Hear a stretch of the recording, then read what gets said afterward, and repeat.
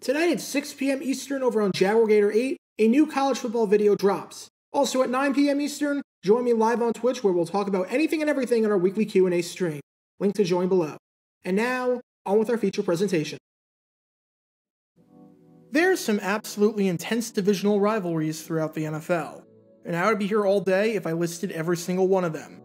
From matchups like the Packers against the Bears in the NFC North, to the Steelers against the Ravens in the AFC North, to practically every team in the NFC East, there are tons of rivalries where teams are out for blood, and want nothing more than to stick it to an old nemesis.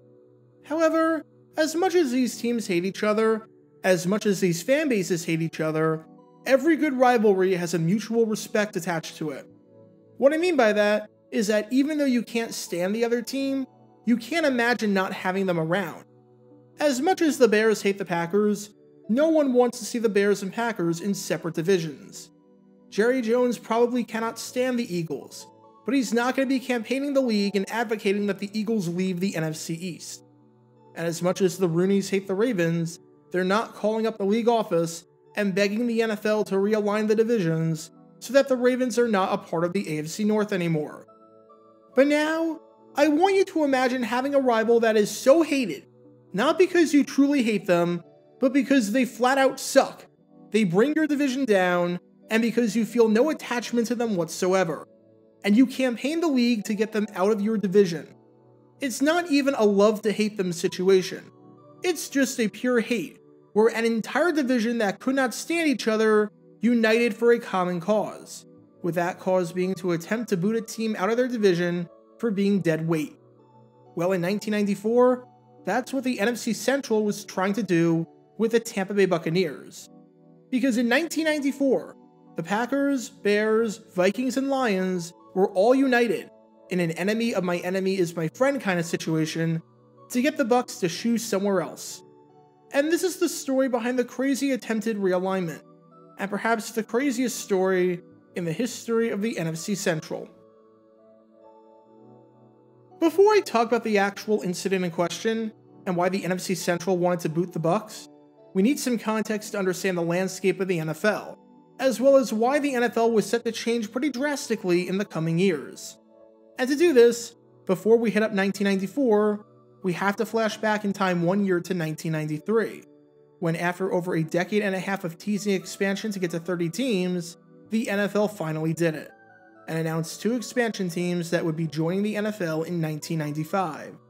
This was the first time since 1976, when the Seattle Seahawks and the Tampa Bay Buccaneers joined the NFL, that the league was adding new teams into the fold. And in October 1993, the NFL announced that the Carolina Panthers would join as the 29th team, with an announcement in November, one month later, being made that the Jacksonville Jaguars would become team number 30. Obviously, when you have a new team, you have to slot them into a division. But before you slot them into a division, you have to slot them into a conference. And for the NFL, even though there was some discussion and debate about it, with merchandise at one point even indicating that Jacksonville would be in the NFC and Carolina would be in the AFC, they landed on the alignment that we know of today with conference affiliation. Jacksonville would play their games in the AFC, and Carolina would play their games in the NFC. The main reason for this was because if you put the Jaguars in the NFC, then they share a very similar market with the Buccaneers. And with the two teams now sharing the same TV contract with Fox, that could create a whole host of issues, with no one's secondary market being happy. So, with the six divisional options for the Panthers now being cut in half to three, which division would they be slotted into? Would it be the East, the Central, or the West? Well, the most logical choice, as stupid as it sounds because it made it seem like geography isn't even a consideration, was the NFC West. And the reason for that was because at the time, each conference had 14 teams, with two divisions having 5 teams and one division having 4 teams. Therefore, it made the most sense to just slot the expansion team into the division with 4 teams, with that being the NFC West, consisting of the San Francisco 49ers, the Los Angeles Rams before they moved to St. Louis one year later, the Atlanta Falcons, and the New Orleans Saints. Yes, it is downright stupid to have a division with two teams in the Eastern time zone and two teams in California. But this was also the same league that had division where a team in Phoenix played in the East, so everything was out of whack. Now, there were quite a few unhappy people with the NFL's plan to slot the Panthers in the West, even though the Panthers, oddly enough, wanted to be in that division. Pittsburgh wanted a whole realignment, which did not happen. Atlanta Falcons president Taylor Smith expressed his frustration with the system and said, Let me put it this way. They put us in the NFC West more than 25 years ago. They said it was temporary. We've been there ever since. However, there was one set of teams that was the angriest of them all about the possibility of the Panthers playing in the West. And those were the teams that comprised 80% of the NFC Central, with these teams being the Green Bay Packers, the Chicago Bears, the Minnesota Vikings, and the Detroit Lions. Because they wanted the Carolina Panthers to join their division. And it had nothing to do with the notion that expansion teams traditionally stink early on, so they wanted the easy opponent. And it had nothing to do with the fact that Charlotte is closer to all the divisional teams than Tampa Bay, so it's easier on travel. It had to do with the fact that the other team in the NFC Central, the Tampa Bay Buccaneers, absolutely sucked. Now, on the surface, this seems counterintuitive, right? You're telling me you can get some free wins against an opponent every year, improving your record and improving your odds at making it to the postseason, and you want to kick them out? Imagine if in baseball, the St. Louis Cardinals just said, Yeah, kick the Pittsburgh Pirates out of the NL Central, pretty please. We want to face tougher competition, and instead of having 18 games against an awful opponent each year, we want it to be against someone who's not as bad. I have to truly emphasize this. The Buccaneers were terrible, and every team in the NFC Central was counting their lucky stars every time they saw the Bucs on the schedule. The fact that they could play them twice in a year was incredible. Think of Derrick Henry and how great he looks playing the Jaguars twice a year. Now amplify that by a factor of 10, and you have Barry Sanders against the Buccaneers. Since 1985, excluding the strike games, the rest of the NFC Central played a very nice 69 games against the Buccaneers. In those 69 games, the NFC Central teams combined for a record of 48 and 21, winning a whopping 70% of the time. Every team was getting their licks in on the Bucs. And yet, despite the near free wins every year, the NFC Central teams were petitioning the NFL badly to kick the Bucs out. So there had to be another reason for this. Because no team in the NFL is ever upset that they have cupcake opponents that they are beating. And as you might have been able to tell, just like everything in life, it comes back to the almighty dollar. Turns out, the Buccaneers weren't just bad, but they were so bad that they were actively costing the other four teams in the NFC Central money. And the reason for that comes down to a calculation used back then called visitor share. The ticket money at a game does not just go to the home team. It gets shared between the home team and the visiting team, and it gets shared with this formula. How it works is that you look at the gross receipts that a team makes in a game, and then you subtract the stadium rent and expenses. Whatever figure you're left with, you give 60% of it to the home team and 40% of it to the visiting team. In other words, the more fans that show up to the games, the more tickets sold, and the more money that the home team gets from their stadium deal, the more money the visiting team gets. And in Tampa Bay, because they were so putrid and were so bad, and because they didn't have any close geographic rivals with the other teams in the NFC Central, meaning that visiting fans weren't coming to the games in mass numbers like you would see if the teams were within driving distance of each other, the visitor share in the NFC Central was abysmal. The Bucs had just 23,000 season ticket holders in 1994, which was by far the lowest total in the NFL.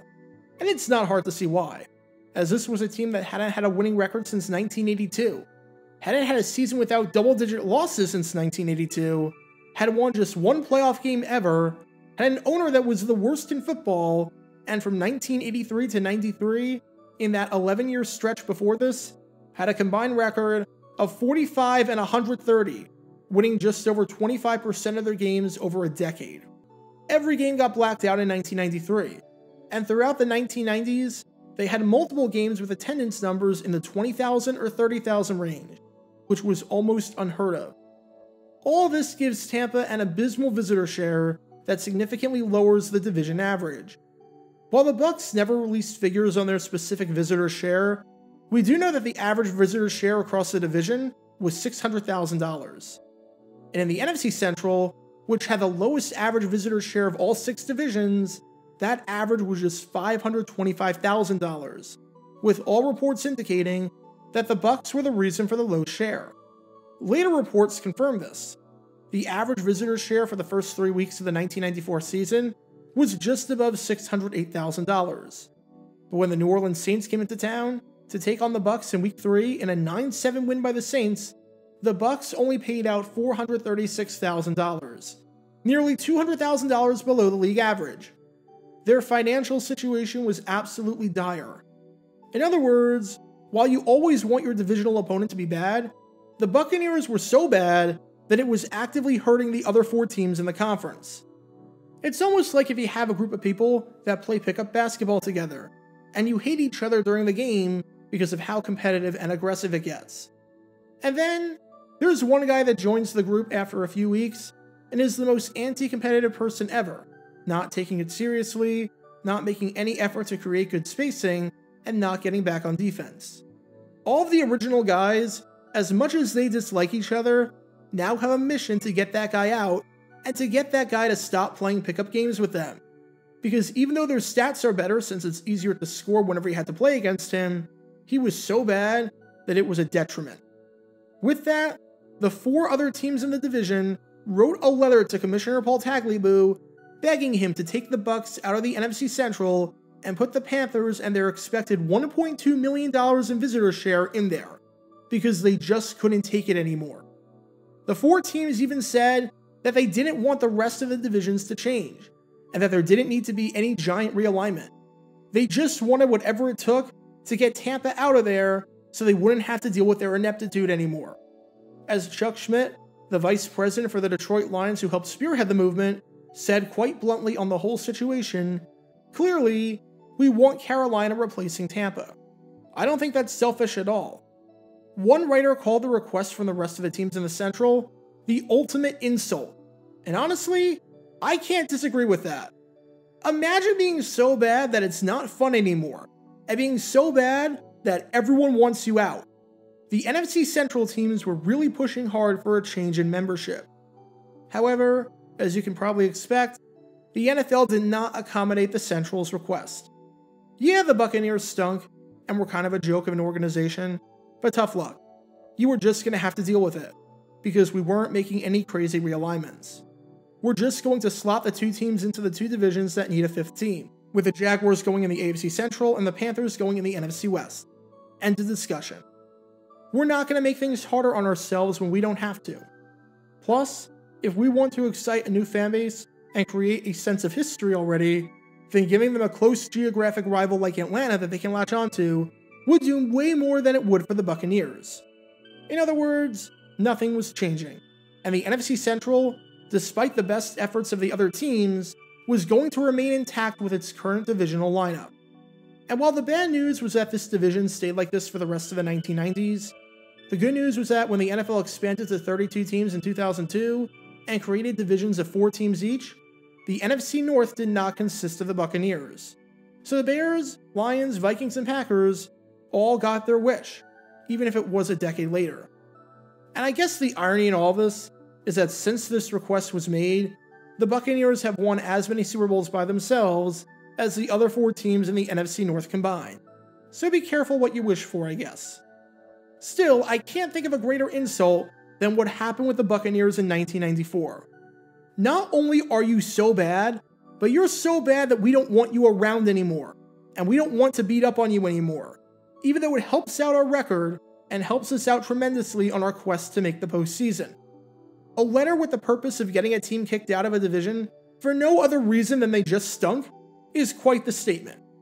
But in the mid 90s, that's exactly what happened in the NFC Central because if the NFC Central was a pirate ship, the teams were hoping that the Buccaneers would walk the plank. Get your official Jaguar Gator 9 merchandise by going to jg9shop.com, and be sure to like this video, ring the notification bell, and subscribe down below if you haven't already, as it helps the channel out a lot. And be sure to check out Twitch every Wednesday night at 9 p.m. Eastern for your chance to play NFL trivia and win cash prizes. Link in the description below. If you want to see videos like this condensed down to 60 seconds, then follow me on TikTok at JaguarGator9. To see college football videos, subscribe to JaguarGator8. To see highlight videos of players throughout the history of the NFL, subscribe to JG9 Highlights. Also, special thanks to all of our Patreon supporters for helping out the channel. Your support is greatly appreciated. How you can become a patron and request future video topics in the description below.